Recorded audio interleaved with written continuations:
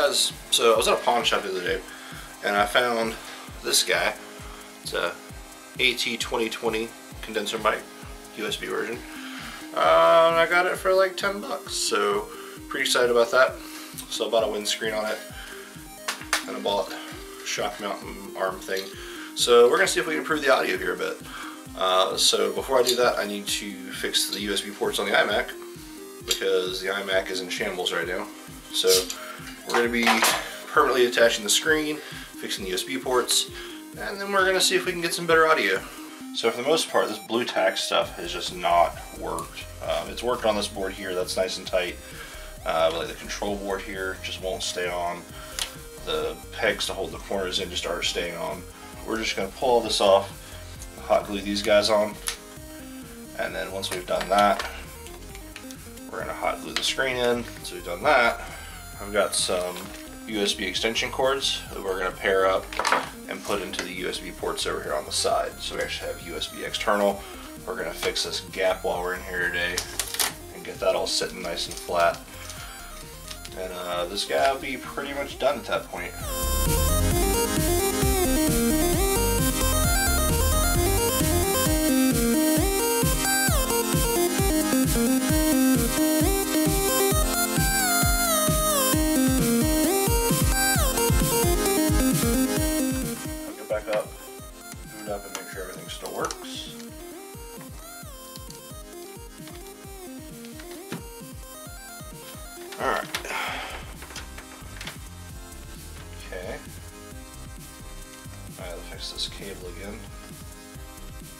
Take a look at that again and see if we can make that a little more secure. totally fine. So we need to make sure this connection stays good over here before we move it. But other than that, it is still working. So I got that fixed.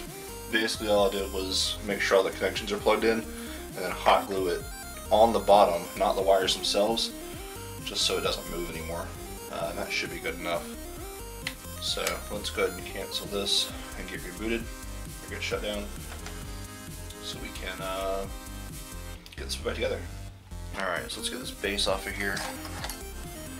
Let's see what we can do about getting this thing shut and fixing this other piece.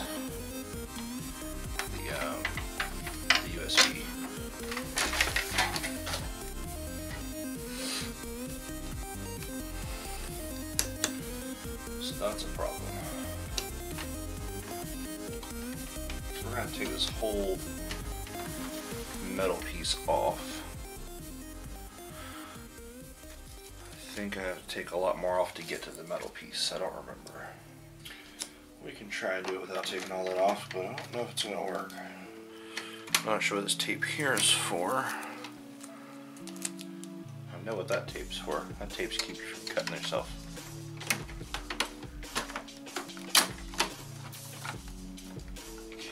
There's everything inside there. Let's see if we can clean that up a little bit while we're in here. Probably take this guy off, it's not needed anymore Give us a little more clearance.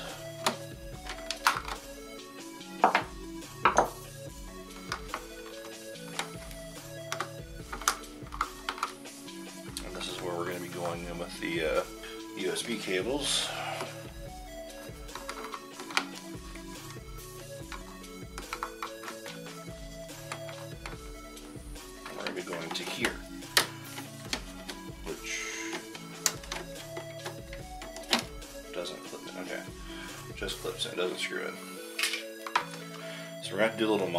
Cables to get them to fit. And we'll get to that in just a minute. Alright, so to fix the issue of the depth here, we're going to pull this guy off and stick on one of these guys, which I'm a big fan of. If you guys haven't seen these before, I used them in my uh, game cabinet video, uh, which you can check out in the corner. And then I'll stick a link in the description for an Amazon link. So if you guys are interested in these things, they're pretty damn cool.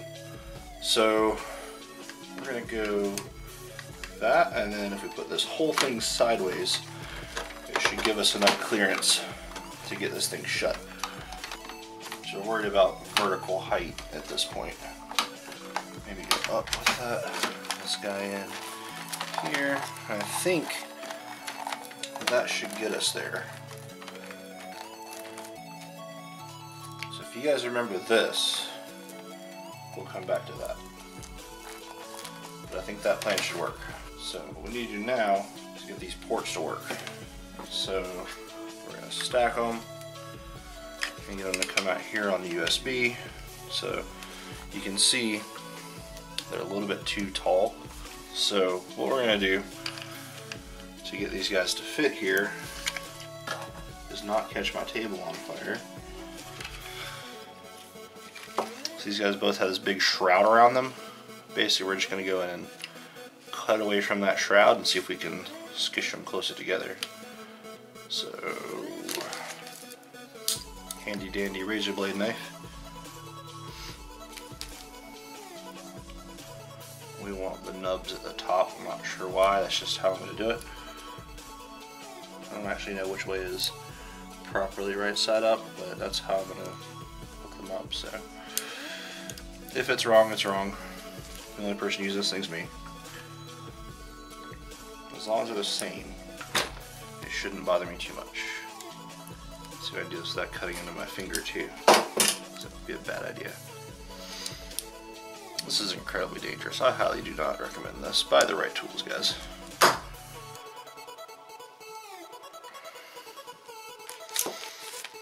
Because any one little slip, and I have to go to the hospital. I really don't want to go to the hospital today. It would get me out of going to a baby shower, but I don't really mind baby showers.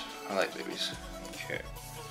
So basically what we're trying to do is stay as close as we can to the port without cutting into the wiring. So I think that's probably as good as we're going to get on this guy. So let's see if shaving the one down was enough to get it to fit. It's pretty close. Let's see if we can get two devices in there.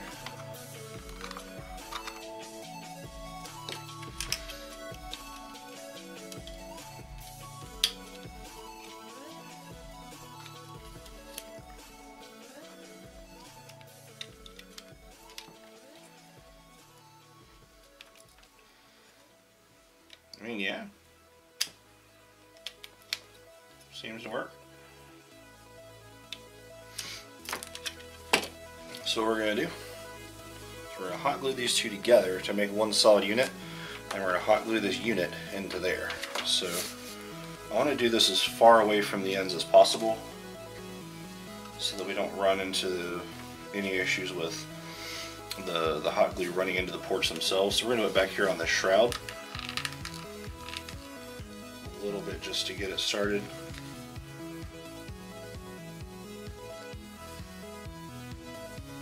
Lined up nicely. That should be enough to keep them together. And then we'll go around it again with hot glue once we get it into the port here. Basically, you still see me? What we're doing here is taking this block into the port. It's gonna be a little difficult to line up, so we're gonna go ahead and stick a thumb drive in the top of it on the top one.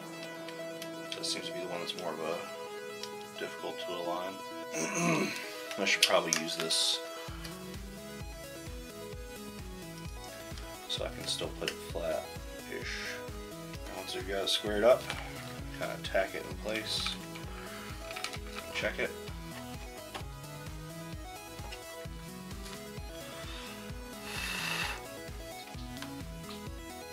Looks pretty good. So now we uh, make it so.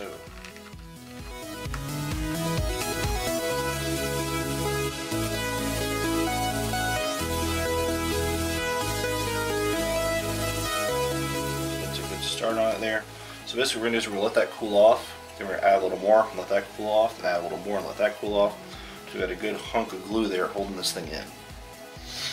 That way it doesn't have any room to give. We can put some pressure on it and make sure it's secure.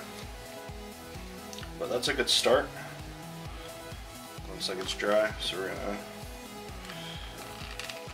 You don't want to add too much at once. If you add too much at once, you can make what you've got in there already let go. We definitely don't want to do that. Uh, I'm to do this, and then once it's done, I'll come back. Alright, so I got this guy all glued up. Just tons and tons and tons of hot glue on there to keep it in place. So let's hope that does the job. It seems pretty sturdy, but it's not 100% dry yet, so let's be careful with it and, and cross our fingers. I'm not 100% sure I can get this back in without screwing something up though, so we'll see what happens. Because of the way this thing hooks in. Yeah, it's probably as good as it's gonna get. It's not great, but it's not horrible either.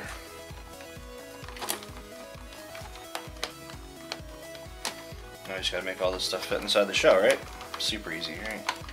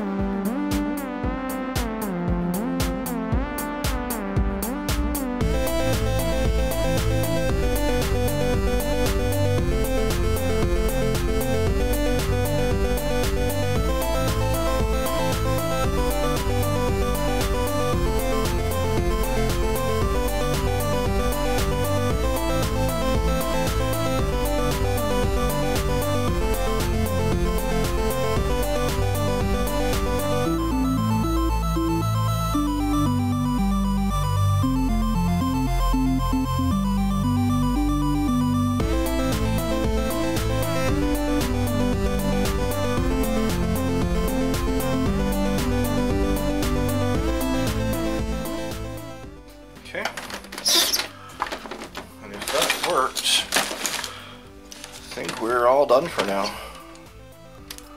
Until we can get a replacement screen for the one I busted here, I think we're all done. Let's make sure it still works. Well, that's good. I didn't have to move it, hit the button. It's always a good sign. It's just me that crack get a lot worse. Whew, ow. So I just sat my arm on the hot glue gun.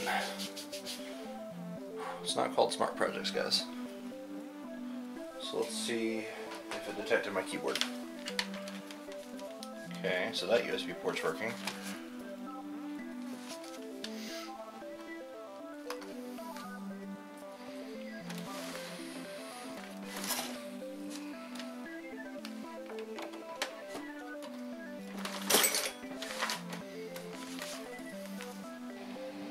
Okay, cool. So it did mount it, it's just taking a while. So we're going to install Audacity because I hear that's a good audio recording program. And while that's installing, we'll get this microphone set up. Alright, so we got that set up over there, so that's good. Um, looks like Audacity installed properly. Not 100% sure to use I might have to watch some tutorials. But we're going to get this guy set up now.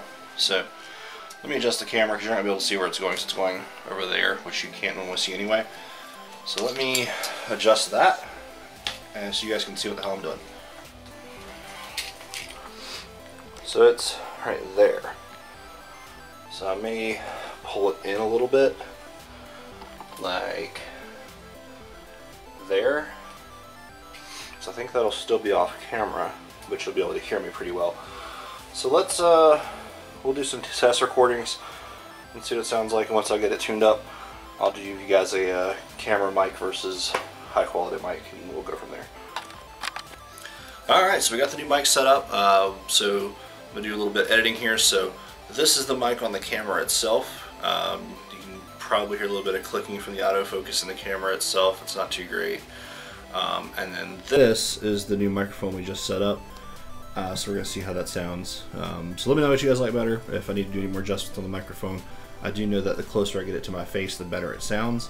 But at the same time, I don't want the microphone in the shot, and I can't justifiably move it around as much as I would like to. Uh, I've done some testing. It sounds about the same volume from when I'm talking to you guys here versus here with its current position. So we're gonna see how it works, and we'll go from there.